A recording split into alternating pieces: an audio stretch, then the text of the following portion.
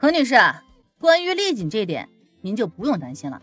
你知道轻重就好，不是我说，丽锦这样人品败坏的演员，你就是用了，后期给作品抹黑可怎么办？我这都是为了你好。哎，不用你为我好，毕竟我的这部剧也不会再放在卫星电视台放了。想必以后但凡是我参演的电视剧，何女士也是看不上眼的。小唐，通知下去，以后但凡是想要和我约剧的导演，加一条前提：我出演的电视剧绝对不会放在卫星电视台播放。如果做不到这一点，剧本不要递给我。你们都是被丽景给迷住了，你倒是好手段。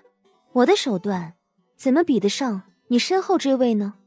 裴婉，表姐，把他当枪使的感觉。怎么样啊？也不知道这位是你的谁啊？你给他灌输了什么样的思想，让他觉得我人品败坏了？但是现在他这个处境算是亏大本了吧？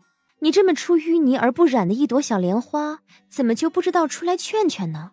毕竟我猜起因都是为了你，不是吗？长辈都在这里，哪里有我们插嘴的份儿啊？表妹，不要失去了你的教养。行了，这里是我的剧组。我的剧呢，也不会放在你们台播，赶紧带着你的小白脸走啊，走！对了，何若云，你不接触电台的事情，所以可能不清楚你今天损失了多少。但是呢，但凡你还有一点自尊心的话，你就让你老公不要打电话来挽留我，我会觉得很烦。你管好你自己，不要哭着来求我们就好。丽锦，你欺负了婉婉，以后别再出现在我们卫星电视台。和我们电台关系好的导演也不会录用你。